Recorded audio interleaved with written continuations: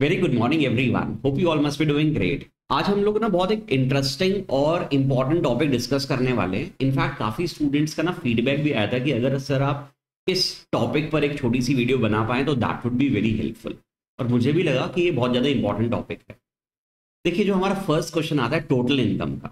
सबसे पहले अगर आपने मेरी लास्ट कुछ वीडियोस देखी होंगी, जहाँ पर मैंने आपके साथ प्रैक्टिस सेशंस लिए थे टोटल इनकम के क्वेश्चंस थे वहाँ पर आप, मैं हमेशा ये बोलता था कि अपने टोटल इनकम के क्वेश्चन को देखिए, थोड़ा टाइम कंज्यूमिंग होता है।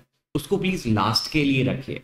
पहले आपके जो अदर क्वेश्चन है question number two three four में से जो आपको क्वेश्चन सेलेक्ट करने पड़ते हैं दो, वो पहले अटेम्प्ट कीजिएगा और फिर बाद में अपने टोटल इनकम के क्वेश्चन पर आइएगा। क्योंकि टोटल इनकम का क्वेश्चन अगर आप पहले लेंगे तो हो सकता है कि वो जनरली ज़्यादा टाइम ले लेता है तो आपके बाकी क्वेश्चन छूट सकते हैं। तो अच्छा होगा कि पहले आप दूसरे क्वेश्चंस करें, फिर अपने टोटल इनकम के क्वेश्चंस को सफिशिएंट टाइम दीजिएगा और जब आप अपने दूसरे क्वेश्चंस पहले करेंगे तो please you have to make sure कि आप अपनी स्पीड अच्छे से मेंटेन करेंगे। करेक्ट ओके दूसरी बात, जो हमारा टोटल इनकम का क्वेश्चन आता है तो वहाँ पर हमारे पास हमें पी अकाउंट दिया होता है एस का या फिर receipts and payment account income and expenditure account ऐसी बातें होती हैं जनरली और फिर हमें कुछ इन्फॉर्मेशन दी होती है राइट और थोड़ा सा कभी कभी वो हमें इंफॉर्मेशन को एडजस्ट करना अपने टोटल इनकम निकालते समय थोड़ा डिफ़िकल्ट लगता है। तो आज मैंने क्या किया I have compiled some adjustments from the last past year papers मैंने चार पाँच पेपर्स को देखा और मैंने उसको कंपाइल किया and I have made some eight और टेन एडजस्टमेंट्स ओवर हेयर कि कौन कौन सी ऐसी एडजस्टमेंट्स हैं तो जो बार बार एक तो इंपॉर्टेंट भी हैं और कॉमनली रिपीट भी कर रहा है एग्जामिनर बार बार उनको। तो today I will be discussing those adjustments with you ठीक है? तो this is this would be a very important and useful video for you और साथ साथ में आपके साथ उसके मिलते जुलते दूसरे कंसेप्ट भी डिस्कस करूँगा, जिससे कि आपका रिविजन भी साथ साथ होते हुए जाएगा। ठीक है? शुरू करें। फ़र्स्ट एडजस्टमेंट क्या कहती है? अच्छा फ़र्स्ट एडजस्टमेंट बताने से पहले मैं आपको थोड़ा सा बैकग्राउंड दे देता हूँ इसका। मान लेते हैं कि हमें एक असेसी का टोटल इनकम कैलकुलेट करनी है। इन असेसी का नाम है लेट से अमित। तो मिस्टर अमित का हमें पीएनएल अकाउंट दिया हुआ है लेट से इस प्रीवियस ईयर का। और हमें क्वेश्चन में कह रहा है कि अमित की टोटल इनकम निकाली है टैक्स लाइबिलिटी निकाली है। अब इसके बारे में एक और इन्फॉर्मेशन हमें मेंशन है कि अमित किसी पार्टनरशिप फर्म है हमें पार्टनरशिप फर्म से कोई लेना देना नहीं है, उसकी इनकम भी नहीं निकालनी है बट सिर्फ़ सिर्फ़ एक इन्फॉर्मेशन गिवन है हमें कि अमित किसी पार्टनरशिप फर्म में पार्टनर भी है, ठीक है? मान लेते हैं कि उस पार्टनरशिप फर्म का नाम है A B C and associates ठीक है? A B C and associates का नाम है। और यहाँ से अब अब हम लोगों को पता है कि A B C and associates अगर इनको इंटरेस्ट देती है रेमिनरेशन देती है in the form of salary bonus commission तो वी अंडरस्टैंड कि वो अमित की पीजीबीपी की इनकम होती है because of section 28 you understand what is section 28 section 28 is a charging section right? वो कहते हैं कि अगर आप किसी पार्टनरशिप फर्म में पार्टनर्स हैं और वहाँ से आपको इंटरेस्ट बोनस कमीशन वगैरह मिलता है तो this is your PGBP income तो लेट से अमित को यहाँ से कोई इंटरेस्ट मिला, ठीक है? और इन्होंने इंटरेस्ट रिसीव अपने पीएनएल अकाउंट में क्रेडिट करा हुआ है। We are okay with it क्योंकि वो इनकी पीजीबीपी की इनकम होती है। अगर वो इंटरेस्ट रिसीव क्या ये interest receive from partnership firm क्या आईएफओ इसकी इनकम बनती है? आंसर इज़ नो सेक्शन 28 इसको स्पेसिफिकली कवर करता है कि अगर ये आपको अपनी पार्टनरशिप फर्म से मिल रही है तो ये आपकी इनकम पीजीबीपी की इनकम होगी। अच्छा मुझे बताइए, अगर अमित एक एक्टिव पार्टनर है या एक स्लीपिंग पार्टनर है एक्टिव या इनएक्टिव पार्टनर भी है, अगर डॉर्मेंट पार्टनर भी है तो उनको इंटरेस्ट तो मिल ही सकता है ना? हम जानते हैं कि फर्म रेमिनरेशन वगैरह अपने नॉन वर्किंग पार्टनर को नहीं देती बट अगर स्लीपिंग पार्टनर हो तो उसको इंटरेस्ट तो मिल सकता है। और ये इंटरेस्ट भी जितना पार्टनरशिप डीड में लिखा होता है, हम उतना ही दे सकते हैं up to maximum twelve percent per annum twelve percent per annum is the maximum limit ये भी हम जानते हैं। चलिए, इतना मुझे आपको बैकग्राउंड देना था फ़र्स्ट इंफॉर्मेशन डिस्कस करने से पहले। अब देखिए फ़र्स्ट पॉइंट यह लिखा हुआ है? Interest received represents the interest from partnership firm तो क्या हुआ होगा? इंटरेस्ट रिसीव हुआ होगा और वो क्या रिप्रेजेंट कर रहा है? कि इनको अपनी पार्टनरशिप फर्म से इंटरेस्ट मिला है। ठीक है, कोई प्रॉब्लम नहीं है that is our PGBP income where the assessee is a sleeping partner देखो एग्जामिनर कंफ्यूज कर रहा है कि असेसी स्लीपिंग पार्टनर हम बोलेंगे, कोई प्रॉब्लम नहीं है बॉस इंटरेस्ट आपको मिल सकता है whether you are a working partner और a sleeping partner interest received amounting rupees two lakh आपको जो इंटरेस्ट मिला है, वो टू लाख रुपीज़ लिखा हुआ है इन्होंने कि मुझे जो इंटरेस्ट मिला है boss that is two lakh rupees कोई प्रॉब्लम नहीं है बॉस बिल्कुल सही लिखा है आपने। मुझे अभी तक कोई प्रॉब्लम नज़र नहीं आई है, ठीक है? बट आगे लिखा हुआ है। Duly authorise by partnership deed partnership deed ने लिखा था कि हम दो लाख का इंटरेस्ट दे सकते हैं। Which is at rate of fifteen percent on capital employed बस यहाँ पर एक गलती हो गई कि पार्टनरशिप फर्म ने इनको जो इंटरेस्ट दिया है दैट इज़ फिफ्टीन परसेंट अब देखिए, जितना पार्टनरशिप डीड बोलती है, और मैक्सिमम ट्वेल्व परसेंट ही अलाउड होता है तो यू अंडरस्टैंड हम ट्वेल्व परसेंट ही अलाउ करेंगे, इसमें से थ्री परसेंट इंटरेस्ट यहाँ पर नहीं आना चाहिए। तो इसकी एडजस्टमेंट क्या होती है? तो this is a common adjustment जो आपको देखने को मिल सकती है आपके एग्ज़ाम्स में द अपकमिंग एग्जामिनेशन तो आप क्या करेंगे? देखिए इंटरेस्ट रिसीव तो बिल्कुल सही है। अगर ये इंटरेस्ट ऑन डिवेंचर्स होता या इंटरेस्ट ऑन कोई अदर सिक्योरिटीज होता तो वी अंडरस्टैंड वो आई की इनकम में चला जाता। But this is interest receive from a partnership firm by a partner तो ये पीजीबी भी तो बिल्कुल सही है बट आप दो लाख नहीं लिख सकते हैं राइट मैक्सिमम कितना लिख सकते हैं? ट्वेल्व परसेंट क्योंकि वो उसके लिए डिसलाव हो जाता है ट्वेल्व परसेंट से ज़्यादा। वो हम पार्टनरशिप फर्म में देख, देखते हैं but right now I am more focused on Amit P N account तो टू लाख रुपीज़ इन्होंने लिखा हुआ है, जो थ्री परसेंट एक्स्ट्रा है ट्वेल्व परसेंट से। तो हम क्या करेंगे? यहाँ से वो थ्री परसेंट हटा देंगे। ट्वेल्व परसेंट बिल्कुल ठीक लिखा हुआ है थ्री परसेंट हटा देंगे। तो सिंपल क्या करिएगा? टू लाख फिफ्टीन परसेंट के बराबर है, इसमें से थ्री परसेंट एक्सेस है। तो अगर मैं मैथमेटिकली कैलकुलेट करता हूँ तो two lakh divided by fifteen into three ये यहाँ पर नहीं लिखा होना चाहिए। तो कितना आता है ये? Two lakh divided by fifteen into three समझ गए ना थ्री क्यों मैं हटा रखे हो रहा हूँ। Thirty nine thousand nine nine nine point nine nine यानी कि फोर्टी थाउज़ेंड रुपीज़ आ रहा है ये। फोर्टी थाउज़ेंड रुपीज़ आपने एक्स्ट्रा इंटरेस्ट यहाँ पर लिखा हुआ है। करेक्ट मैक्सिमम ट्वेल्व परसेंट ही आपकी इनकम बन सकती है। तो यहाँ से मुझे फोर्टी थाउज़ेंड रुपीज़ को हटाना होगा। तो इसको आप क्या करेंगे? देखिए, आप इनकम हटा रहे हैं यहाँ से। इनकम हटा रहे हैं तो आपका लेस हो जाएगा। करेक्ट क्योंकि आपकी इनकम कम हो रही है। तो ऑब्वियसली जब आप एडजस्टमेंट करेंगे तो लेस करेंगे। इंटरेस्ट सिंपल लिखेगा। Interest from firm in excess of twelve percent ठीक है, और इसको करके आप बता दीजिएगा। ये जो बातें हैं यहाँ पर कैलकुलेशन आप दिखा सकते हैं। तो फोर्टी थाउज़ेंड रुपीज़ आप लेस करेंगे। एड बैक करेंगे लेस करेंगे लेस करेंगे। आपकी इनकम की साइड है। आपने यहाँ पर इनकम एक्स्ट्रा लिखी हुई है तो इनकम जब हटाएँगे तो हमें प्रॉफिट्स कम हो जाएँगे तो दैट इज़ द रीजन ये सब्ट्रैक्ट होगा। तो आई बिलीव फ़र्स्ट एडजस्टमेंट आपको क्लियर हो गई होगी इंपॉर्टेंट एडजस्टमेंट थी। Second assessee paid job charges for the value addition of the fabrics of ninety thousand assessee का कोई काम होगा फैब्रिक से रिलेटेड उसने किसी को जॉब वर्कर को चार्जेस दिए तो दैट इज़ अलाउड हम किसी से जॉब वर्क करा सकते हैं। सेक्शन 37 में normal it's a business expense allowed होता है। जनरल डिडक्शन अलाउड होता है 37 में। Without deduction of tax to job worker by account pay cheque account pay cheque से दिया वो अच्छी बात है। बट विदाउट टीडीएस ये एक बहुत इंपॉर्टेंट और कॉमनली रिपीटेड एडजस्टमेंट्स है, जो आपको ऑलमोस्ट मैं ये कह सकता हूँ कि अगर हर पेपर में तो नहीं, पर एवरी ऑल्टरनेट पेपर में ये चीज़ें मिल जाती हैं। ठीक है मतलब इसके आने के चांसेस 80 टू 90 परसेंट है। इस एडजस्टमेंट के तो काफ़ी बार देखा गया है कि हमने कुछ पेमेंट कर दी विदाउट टीडीएस विदाउट टीडीएस अगर हमने पेमेंट कर दी है तो आपको पता है अच्छा ये यहाँ पर क्या ऐसा लिखा हुआ है कि ये नॉन रेसिडेंट था, या आउटसाइड इंडिया पेमेंट कर दिया अगर ऐसा लिखा होता स्पेसिफिकली कि ये नॉन रेसिडेंट था, या आउटसाइड इंडिया पेमेंट कर दी है तो फिर हम हंड्रेड परसेंट डिसअलाउ कर देते हमारे पास एक सेक्शन है। अगर आप सेक्शन कोट करना चाहेंगे तो कर दीजिएगा। वैसे ज़रूरी नहीं है। सेक्शन फोर्टी स्मॉल ए याद आ गया आपको? तो 40 स्मॉल ए कहता है कि अगर आपने आउटसाइड इंडिया नॉन रेसिडेंट को जिसके ऊपर आपने टीडीएस डिडक्ट करना था, उसके ऊपर नहीं किया तो 100 परसेंट डिसअलाउड बट अगर आउटसाइड इंडिया नॉन रेसिडेंट जैसी कोई भी बातें नहीं लिखी हैं तो हमेशा मानते हैं कि हमने किसी रेसिडेंट को ही पेमेंट की है। तो वहाँ पर हम फोर्टी स्मॉल ये कहता है कि अगर आपने किसी रेसिडेंट को विद इन इंडिया ही पेमेंट की है तो हम इसमें से थर्टी परसेंट डिसअलाउ करेंगे। तो थर्टी परसेंट इसमें से डिसअलाउ हो जाएगा, यानी कि थर्टी यानी कि ट्वेंटी हम एड बैक कर देंगे। क्यों? क्योंकि हमारे असेसी ने जॉब चार्जेस पे किए हैं उसने अपने पीएनएल अकाउंट में नाइन्टी थाउज़ेंड के एक्सपेंस दिखाए हुए होंगे। एक्सपेंस तो वैसे ठीक है जॉब वर्कर के लिए सेक्शन थर्टी सेवन में अलाउड होता है बट फोर्टी स्मॉल है इसके ऊपर आपको टीडीएस डिडक्ट करना चाहिए था और आपने नहीं किया तो इसमें से थर्टी परसेंट यानी कि twenty seven thousand add back कर देंगे। तो this is an easy adjustment but this is a very important adjustment right तो इसके ऊपर टीडीएस डिडक्ट होना चाहिए था तो आप इसमें से थर्टी परसेंट डिसअलाउ कर दीजिएगा। एक और छोटी बात और बता देता हूँ।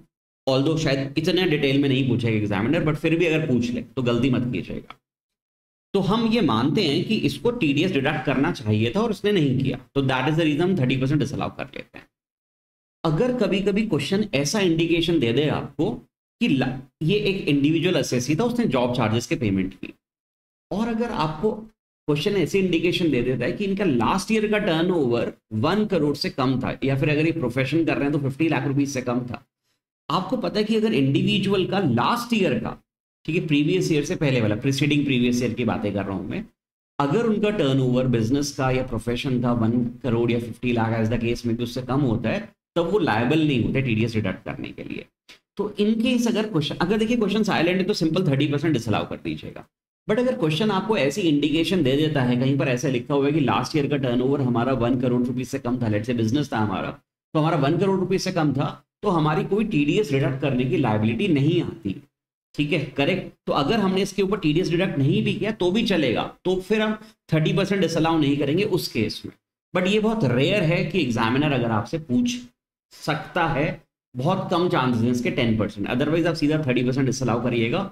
बट प्लीज़ वो बात याद रखिएगा, अगर ये टीडीएस इनके लिए डिडक्ट करना लाइबिलिटी ही नहीं थी क्योंकि डिपेंड करता है उनके लास्ट ईयर के टर्नओवर पर। अगर क्वेश्चन इंडिकेशन दे कि लास्ट ईयर का टर्नओवर कम था तो आप फिर डिडक्ट नहीं करेंगे। तो फिर अगर आपने बिना टीडीएस के भी पे कर दिया तो भी कोई प्रॉब्लम नहीं है। ठीक है? बट 90 परसेंट केसेस में तो 30 परसेंट डिसअलाउ कर दिया सीधा। क्वेश्चन कोई इंडिकेशन नहीं दे रहा तो मान लीजिएगा कि हमें टीडीएस डिडक्ट करना चाहिए था। ठीक है? This is an important adjustment third twenty five thousand paid to creditors for goods in cash हमने क्रेडिटर्स को पेमेंट कर दी कैश में. This is again an important adjustment ये तो अक्सर आती है कि आपने टेन थाउज़ेंड से ज़्यादा की पेमेंट कर दी है क्रेडिटर्स को. क्रेडिटर्स को पेमेंट कर दिए तो क्या हुआ होगा? देखो, आपने जब परचेजेस किए हो, किया होगा, जब आपने इनसे गुड्स परचेजेस किए होंगे तो आपने पीनल अकाउंट में लिखा होगा purchases twenty five thousand rupees right और मान लेते हैं कि आपने इसको ड्यू बेसिस पर अलाउ भी करा लिया होगा। मान लेते हैं अलाउड नहीं हो जाता है ऑलरेडी हम ये मानते हैं कि ऐसे ऐसे हमारा अकाउंट्स मर्केंटाइल सिस्टम पर बनाता है। अगर क्वेश्चन में कुछ भी नहीं मेंशन होता तो हम मानते हैं कि ड्यू बेसिस पर अलाउड होते हैं। तो हमने परचेजेस के ट्वेंटी फाइव थाउज़ेंड अलाउ कर रखे होंगे। बट क्या हुआ? इसकी हमने पेमेंट कर दी बाद में ट्वेंटी फाइव थाउज़ेंड की कैश में। टेन थाउज़ेंड से ज़्यादा कर दी है पेमेंट तो ये डिसअलाउड हो जाता है तो ट्वेंटी फाइव थाउज़ेंड पूरा का पूरा डिसअलाउ कर दीजिएगा। This is also an important all तो मैंने तो ज़्यादातर एडजस्टमेंट्स वही लिखे हैं जो फ्रीक्वेंटली रिपीट हो रही हैं तो these are quite important adjustments तो इसमें क्या करेंगे? अगर आपको सेक्शन का नंबर याद है तो कोट कर दीजिएगा फोर्टी ए थ्री नहीं याद है तो कोई इट्स ओके ठीक है? टेन थाउज़ेंड से ज़्यादा की पेमेंट कर दी, पूरा का पूरा ट्वेंटी फाइव थाउज़ेंड डिसअलाउड हो जाएगा. In excess of ten thousand होता है या पूरा डिसअलाउड हो जाता है? पूरा डिसअलाउड हो जाएगा. ठीक है? Okay fourth entertainment expenses include अब क्या पीएनएल अकाउंट में एंटरटेनमेंट एक्सपेंसेस आ सकता है? आंसर इज़ यस हम अपने बिज़नेस के लिए, अपने प्रोफेशन के लिए, अपने स्टाफ वगैरह के लिए entertainment expenses festival expenses allowed होते हैं। सेक्शन 37 जनरल डिडक्शन में अलाउड हो जाता है। कोई प्रॉब्लम नहीं है। बट आगे लिखा हुआ है entertainment expenses include twenty five thousand for dinner to customers in a five star hotel हमने डिनर कराया है। अब कुछ स्टूडेंट्स को ऐसा लगेगा कि ये पर्सनल एक्सपेंस है। Answer is no it's it's a sales promotion अगर हम अपने प्रोस्पेक्टिव कस्टमर्स को सप्लायर्स को या किसी भी अपने बिज़नेस नेचर से रिलेटेड कोई एक्सपेंस कर रहे हैं, हम उनको डिनर करा रहे हैं लंच करा रहे हैं, अपने इंप्लॉयज को टीम आउटिंग पर ले जा रहे हैं तो this is our business day to day expenses जैसे कि यहाँ पर अगर हमने अपने कस्टमर्स को फाइव स्टार होटल में डिनर कराया, हमने क्यों कराया? हमारा कोई उनसे कोई पर्सनल रिश्तेदारी नहीं थी, हमारा कोई पर्सनल वो नहीं था। यहाँ पर। हमने क्यों कराया? बिकॉज़ हम अपना बिज़नेस प्रमोट करना चाहते हैं। तो लोग अपना बिज़नेस प्रमोट करने के लिए अलग अलग तरीके निकालते हैं। तो ये this is also one of the allowable expense कोई प्रॉब्लम नहीं है। तो यहाँ पर कुछ स्टूडेंट्स को लगेगा कि नहीं ये तो पर्सनल एक्सपेंसेस को डिसअलाउ कर, कर दिया जाए। बिल्कुल मत करिएगा बिल्कुल सही लिखा हुआ है। तो इसका आप अपनी कंप्यूटेशन में कुछ नहीं करेंगे। ठीक है? कुछ भी नहीं करेंगे अलाउेबल एक्सपेंस है। बट अब देखिए एग्जामिनर ने अगर आपको ऐसी चीज़ें दे दी हैं तो आप आपको इसको कंप्यूटेशन लेना नहीं है। कुछ प्लस माइनस करना नहीं है। बट आप एग्जामिनर को बताइए कि आपने इसको कंप्यूटेशन में इग्नोर क्यों किया? ठीक है, आप इसको इग्नोर कर रहे हैं ना? अब एग्जामिनर ने आपको ये पॉइंट दिए और आप उसको इग्नोर करके बैठ गए, उसकी रिस्पेक्ट नहीं कर रहे आप। तो बॉस उसको थोड़ा सा रिस्पेक्ट दीजिए आप एग्जामिनर को। तो इसके लिए एक सिंपल एक लाइन में एक सिंपल एक लाइन से ज़्यादा मत लिखना, एक सिंपल नोट लिखना पड़ेगा। It is the kind of sales promotion expenses allowable ये अलावेबल एक्सपेंसेस है, कोई कुछ नहीं करना है इसका। ठीक है? तो ऐसा भी आपको मिल जाता है। नेक्स्ट है। Fifth employees remuneration includes a sum of 3 lakh rupees. Employ remuneration मतलब हमने अपने स्टाफ को सैलरी दी होगी। हमने पीनल अकाउंट में डेबिट करा हुआ है, जैसे कोई एस है तो इसने यहाँ पर सैलरी में एम्प्लॉय रेमिनरेशन लिखा हुआ है या सैलरी लिखा हुआ है तो उसकी बातें हो रही अब मुझे बताइए सैलरी पे करना अपने इंप्लॉयज को अलाउड होता है? सेक्शन थर्टी सेवन में सैलरी अलाउड है। बोनस देना थर्टी सिक्स में अलाउड होता है। ठीक है अदरवाइज़ सेक्शन नंबर इतने ज़्यादा ज़रूरी नहीं है याद करने but you should know the provision की अलाउेबल है या नहीं है। तो सैलरी देना अलाउड होता है। Okay okay. अब लिखा हुआ है कि इंप्लॉय को रेमुनरेशन दी है, जिसमें कि थ्री लाख रुपीज़ इंक्लूडेड है। Paid to assessee's wife assessee ने अपनी वाइफ को दिया है मतलब रिलेटेड पार्टी को दिया है।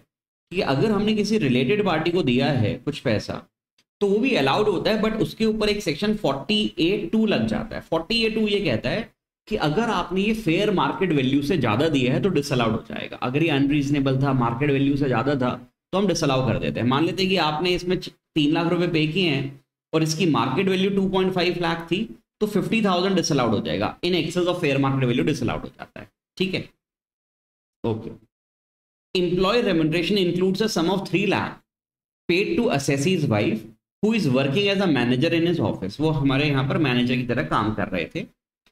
She does not have any technical और प्रोफेशनल क्वालिफिकेशन और experience required for the job उनके पास कोई टेक्निकल क्वालिफिकेशन एक्सपीरियंस वगैरह नहीं था। The payment of salary was as per the market rate in comparison to similar work profile कहते हैं कि जो हमने पैसे दिए हैं, वो एज पर मार्केट स्टैंडर्ड ही दिए हैं।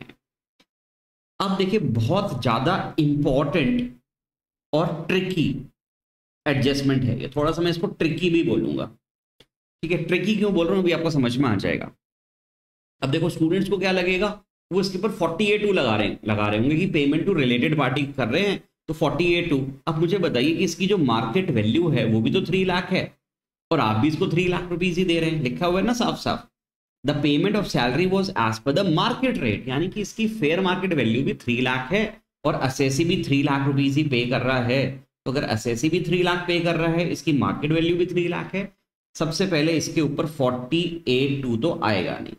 फोर्टी ए टू लगेगा नहीं, क्योंकि ये एज पर मार्केट रेट ही है। मार्केट वैल्यू से ज़्यादा करते तो फोर्टी ए टू डिसअलाउ कर देता, वो एक्सेस अमाउंट बट यहाँ पर कोई एक्सेस अमाउंट डिसअलाउ नहीं होगा। ठीक है? अलावेबल एक्सपेंस है। बट यहाँ पर प्रोविजंस लग जाएँगे क्लबिंग ठीक है? इसलिए मैंने कहा था ये ट्रिकी भी है। ट्रिकी इसलिए है क्योंकि स्टूडेंट्स को लगेगा पीजीबीपी लग रहा है फोर्टी ए टू यहाँ पर लगेगा नहीं, छोड़ देंगे उसको बट यहाँ पे क्लबिंग के प्रोविजंस लग जाएँगे। अब क्लबिंग में हम लोग पढ़ते हैं कि अगर किसी भी इंडिविजुअल का किसी बिज़नेस में सब्सटैंशियल इंटरेस्ट है और उनके उनके स्पाउस को रेमुनरेशन मिलती है बिना किसी टेक्निकल नॉलेज स्किल या एक्सपीरियंस के तो वो इनकम वापस इंडिविजुअल के हाथों में ही क्लब हो जाती है राइट अब ये असेसी का लेट से असेसी का खुद का बिज़नेस था। मतलब उसका ऑब्वियसली सब्सटैंशियल इंटरेस्ट है ट्वेंटी परसेंट से ज़्यादा इनफैक्ट हंड्रेड परसेंट ही अगर होगा अगर उसका खुद का बिज़नेस है।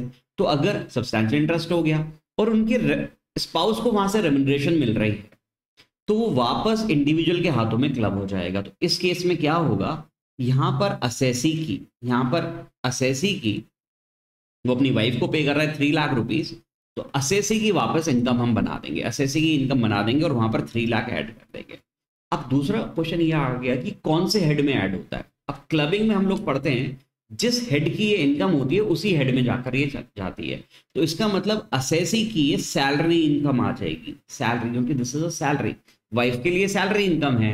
और सबसे पहले क्या करें? वाइफ के लिए पहले सैलरी इनकम कंप्यूट करें। कैसे कंप्यूट करेंगे आप? Three lakh rupees salary income wife की।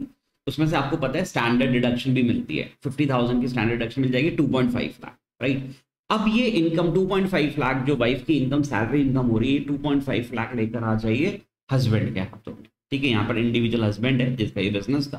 तो उनके हाथों में लेकर आइए। देखिए, उनका बिज़नेस था, उनकी पीजीबीपी इनकम तो आ ही रही होगी सैलरी हेड और आ जाएगा।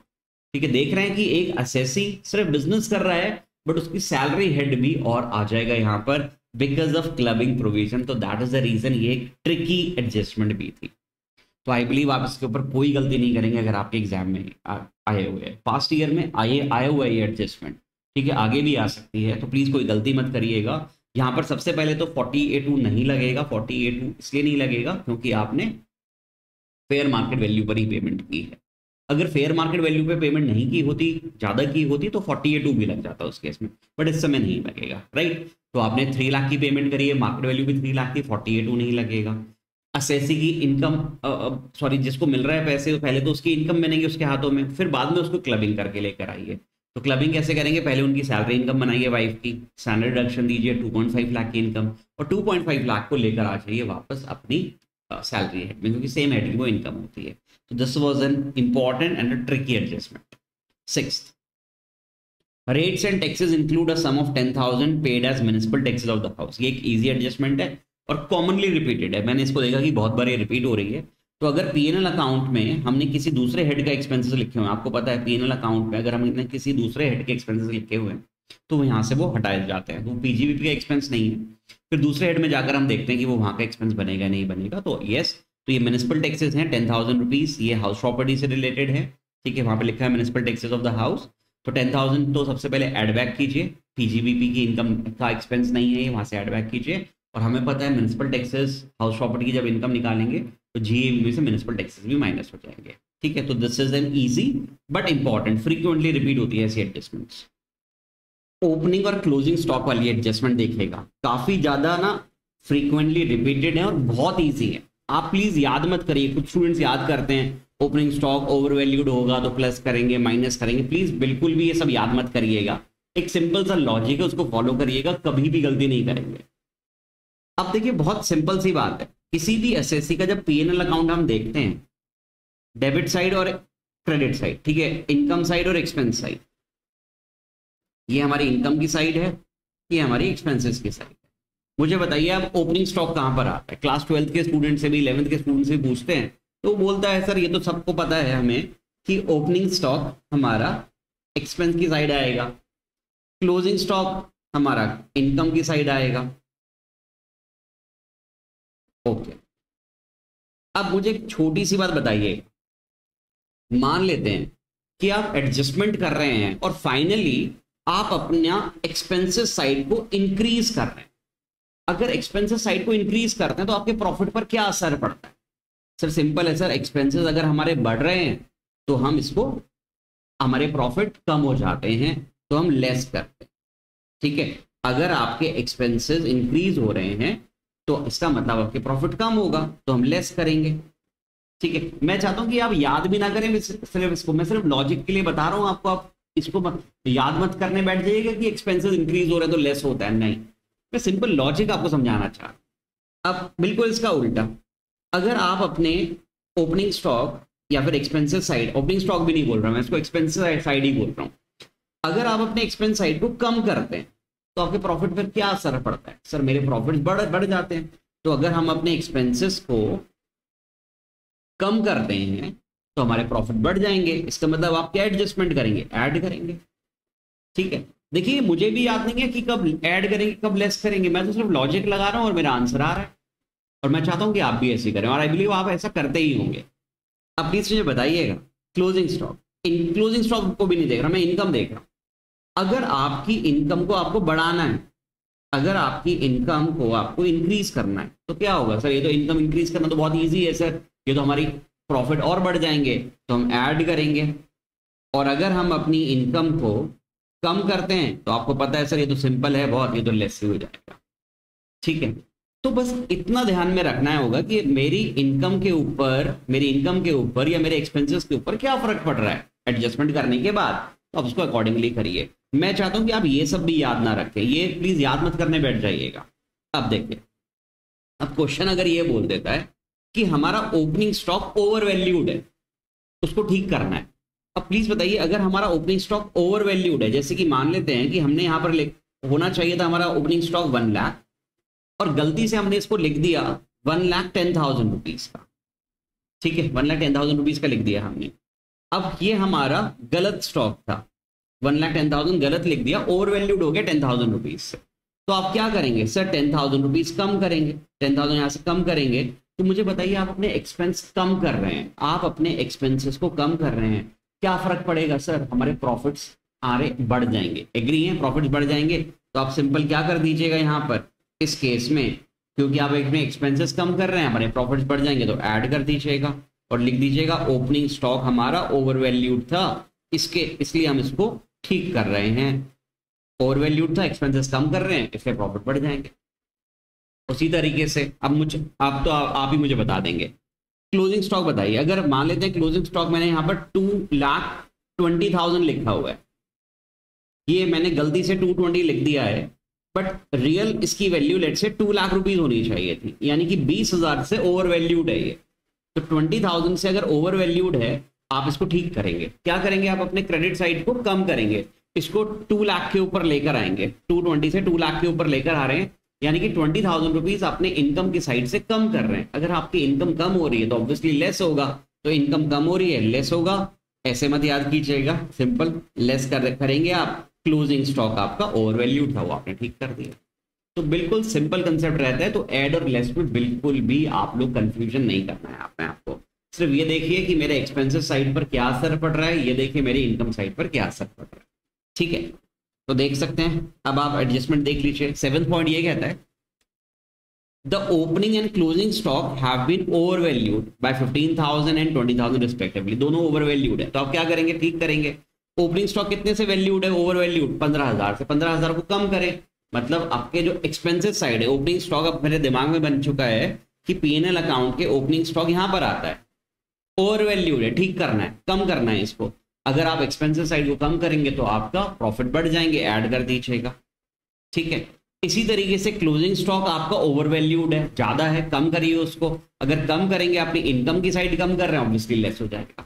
ठीक है? तो इसके ऊपर कोई गलती नहीं होनी चाहिए, आपकी बिल्कुल सही करिए और बहुत ज़्यादा इंपॉर्टेंट होती है एडजस्टमेंट काफ़ी बार रिपीटेड होती है। Okay eight of nine thousand per month was paid as salary to staff throughout the year and this has not been recorded in the books of accounts अब देखिए, हमने नाइन थाउज़ेंड पर मंथ की salary pay की है किसी को। तो nine thousand into twelve कितना आता है? वन लाख एट थाउज़ेंड तो हमने वन लाख एट थाउज़ेंड की सैलरी हमने अपने एम्प्लॉय को पे की है, और उसको हमने किताबों में रिकॉर्ड नहीं किया है। इसको कैसे ट्रीट करेंगे? अब देखिए, यहाँ पर ना दो पॉइंट ऑफ़ व्यू है। इंस्टीट्यूट दोनों ही पॉइंट ऑफ़ व्यू को सही मानता है। फ़र्स्ट पॉइंट ऑफ़ व्यू क्या है? वो कहते हैं कि अगर आपके ये एक्सपेंसेस आपने रिकॉर्ड नहीं किया है तो हम ये मानेंगे कि शायद ये ओपिनियन वन फ़र्स्ट व्यू ये कहता है कि मानेंगे कि ये आपका, हमने एक्सपेंस देखा असेसिंग ऑफिसर ने आपको एक्सपेंस देखा और आपसे पूछा कि एक्सपेंस क्या है। और लेट से आप इसको एक्सप्लेन नहीं कर पाए। आप इसको अगर एक्सप्लेन नहीं कर पाए तो इसको हम अनएक्सप्लेन एक्सपेंडिचर का ट्रीटमेंट देंगे। हम मानेंगे कि अनएक्सप्लेन एक्सपेंडिचर है, और ये आपकी इनकम बन जाती है। याद है ना आपको, हम वो 68 की सीरीज़ करते हैं unexplained cash credit unexplained investment unexplained money unexplained expenditure तो ये अनएक्सप्लेन एक्सपेंडिचर की तरह ट्रीट होगा, और आपका ये वन लाख एट थाउज़ेंड हम आपकी इनकम बना देंगे, जिसके ऊपर आपको पता है स्पेशल रेट ऑफ़ टैक्स होता है sixty percent plus twenty five percent surcharge sixty का ट्वेंटी फाइव परसेंट यानी कि फिर हो जाता है सेवेंटी फाइव प्लस उसके ऊपर फोर परसेंट से सेवेंटी एट परसेंट टैक्स तो फ़र्स्ट पॉइंट ऑफ़ व्यू है तो इंस्टीट्यूट ये पॉइंट ऑफ़ व्यू भी लेता है कि अगर आपने कोई एक्सपेंस रिकॉर्ड नहीं किया हुआ तो इट इज़ अज्यूम कि वो अनएक्सप्लेन एक्सपेंडिचर था तो ये आपकी इनकम बन जाएगी, इससे कोई डिडक्शन भी नहीं मिलती है और सीधा सिक्सटी परसेंट प्लस उसके ऊपर सरचार्ज प्लस है सेवेंटी एट परसेंट का जाके आपको टैक्स देना पड़ता है। दूसरा व्यू ये कहता है कि मान लेते हैं कि एसएससी ने एक्सप्लेन कर दिया इसको कि वो उसका एक्सपेंडिचर था, वो उसने रिकॉर्ड नहीं कर पाया, कोई गलती हो गई, कोई क्लैरिकल एरर हो गई। हाँ बट ये मैंने अपने इंप्लॉय को पे किए हैं। ये एक्सप्लेन अगर एक्सपेंडिचर है तो फिर ये अनएक्सप्लेन तो नहीं है, फिर तो एक्सप्लेन हो गया। तो उस केस में ये आपका अलावेबल एक्सपेंस है। तो उस केस में आप इसको सैलरी पेमेंट करना सेक्शन थर्टी में अलाउड होता है। तो ये अलावेबल एक्सपेंस मानते हुए आप इसको लेस कर सकते हैं सब्ट्रैक्ट कर सकते हैं। अलावेबल एक्सपेंस देखिए, बहुत ज़्यादा एक्सट्रीम ट्रीटमेंट है दोनों के लिए और दोनों पॉइंट ऑफ़ व्यू सही है। अगर आप इसको अनएक्सप्लेन एक्सपेंसेस मानना चाहेंगे तो आप इसको प्लीज़ इनकम बनाइएगा and chargeable at special rate of tax sixty plus surcharge twenty five sixty के सिक्सटी के ऊपर ट्वेंटी फाइव जिससे होके वो आ जाता है सेवेंटी फाइव टोटल और उसके ऊपर फोर परसेंट से सेवेंटी एट परसेंट या फिर सेकेंड पॉइंट ऑफ़ व्यू है कि इसको आप एक अलावेबल एक्सपेंस माने ये मानते हुए कि उसने हमें एक सेटिस्फैक्ट्री एक्सप्लेनेशन दे दी है इसके बारे में। तो उसको अलाउ करिएगा, उस केस में ये लेस हो जाएगा सब्ट्रैक्ट हो जाएगा अलावेबल डिडक्शन होगी। इंस्टीट्यूट दोनों पॉइंट ऑफ़ व्यू मानता है, जो आपको अच्छा लगे वो आप कीजिएगा मैं जनरली इंस्टीट्यूट के फ़र्स्ट पॉइंट ऑफ़ व्यू से जाना चाहता हूँ, ठीक है? अगर आप मुझसे पूछेंगे, सर, कौन सा पॉइंट ऑफ़ व्यू माने? तो फ़र्स्ट मानिएगा। देखिए, जो भी इंस्टीट्यूट फ़र्स्ट व्यू लेता है, वो ज़्यादा स्ट्रांग होता है तो आप फ़र्स्ट मानिएगा, इसको अनएक्सप्लेन एक्सपेंडिचर की तरह, इसको इनकम बना दीजिएगा, ठीक है? नेक्स्ट है। Bank term loan interest actually paid up to 31st March 2024 was 20,000 and the balance was paid in October 2024. तो लेट से अगर ड्यू डेट अब इसके ऊपर एक हमने interest bank loan bank loan का इंटरेस्ट देना था बट हमने ड्यू डेट तक कुछ अमाउंट दे दिया और कुछ अमाउंट हमने नहीं दिया तो अब डिपेंड करता है कि हमारी ड्यू डेट क्या थी लेट से अगर हमारी ड्यू डेट थर्टी फ़र्स्ट जुलाई 2024 थी अच्छा मैं सेक्शन कौन सी बातें कर रहा हूँ? इसके ऊपर सेक्शन 43 बी लगता है। 43 बी कहता है कि certain expenses are allowed only on actual payment जिसमें से एक है बैंक इंटरेस्ट अगर आपने बैंक से फाइनेंशियल इंस्टीट्यूशन वगैरह से लोन लिया तो उनका इंटरेस्ट ड्यू डेट तक पे कर दीजिए। तो एज्यूम करते हैं, अगर ड्यू डेट थर्टी फ़र्स्ट जुलाई, अब डिपेंड करता है कि आपके क्वेश्चन में ड्यू डेट क्या है, ठीक है राइट तो अगर वो थर्टी फ़र्स्ट जुलाई आप मान रहे हैं थर्टी फ़र्स्ट जुलाई गिवन है, इस तरीके से टर्न ओवर वगैरह से आपने देखा थर्टी फ़र्स्ट जुलाई टर्न ओवर की ड्यू डेट है तो जितना ड्यू डेट से पहले पहले पे हो गया इंटरेस्ट वो अलाउड है, जितना ड्यू डेट के बाद हुआ, वो डिसअलाउ कर दीजिएगा राइट बट अगर मान लेते हैं ड्यू डेट थर्टी अक्टूबर होती इस केस में तो अगर थर्टी अक्टूबर तक भी अगर आपने इंटरेस्ट पे कर दिया तो फिर वो अलावेबल एक्सपेंस था। कुल मिलाकर ये एडजस्टमेंट थी सेक्शन फोर्टी बी की। ठीक है, थोड़ा सा और डिटेल में चला जाता हूँ इसके ऊपर। लेट से ये आपका पेनल अकाउंट है, और यहाँ पर लिखा हुआ है कि आपने इंटरेस्ट एक एक्सपेंस किया वन लाख रुपीज़ का। और आपकी इंफॉर्मेशन में ये लिखा हुआ है कि ट्वेंटी थाउज़ेंड तो आपकी ड्यू डेट तक पे हो गया ड्यू डेट ऑफ़ आर और बाकी का बैलेंस ड्यू डेट के बाद पे हुआ। तो उस केस में हम सिर्फ़ इसमें से ट्वेंटी थाउज़ेंड तो अलाउ कर सकते हैं एट्टी थाउज़ेंड को एड बैक कर दीजिएगा। एटी थाउज़ेंड को एड बैक कर दीजिएगा, और अगर आप सेक्शन कोड करना चाहें तो कर सकते हैं फोर्टी थ्री भी करेक्ट इंटरेस्ट जितना ड्यू डेट तक पे हुआ, उतना ही अलाउड होता है, जितना ड्यू डेट तक नहीं पे हुआ, वो डिस वो डिसअलाउ हो जाएगा। नेक्स्ट लास्ट है miscellaneous expenses include ten thousand contributed to prime minister relief fund okay सबसे पहले हमारे मिसलेनियस एक्सपेंसेस अब क्या किया होगा? असेसी ने अपने पीनल अकाउंट में यहाँ पर लिखा होगा मिसलेनियस एक्सपेंसेस मिसलेनियस एक्सपेंसेस और इसमें कितना था? टेन थाउज़ेंड रुपीज़ इसमें कुछ इंक्लूड होगा। मान लेते हैं कि मिसलेनियस एक्सपेंसेस टू लाख थे। हमें पता है मिसलेनियस एक्सपेंस अलाउड होते हैं? पीजीबी का नॉर्मल एक्सपेंस माना जाता है, अगर कुछ भी नहीं दिया हुआ सेक्शन थर्टी सेवन इसको अलाउ कर देगा। बट यहाँ पर लिखा हुआ है कि इसके अंदर टेन थाउज़ेंड रुपीज़ इंक्लूडेड थे, जो हमने prime minister national relief fund में कॉन्ट्रीब्यूट करा है। सबसे पहले अगर आपने prime minister national relief fund में कॉन्ट्रीब्यूट करा है it is not your business expense तो जब आप अपनी पीजीबीपी की इनकम कंप्यूट करेंगे तो उसको एड बैक कर देना।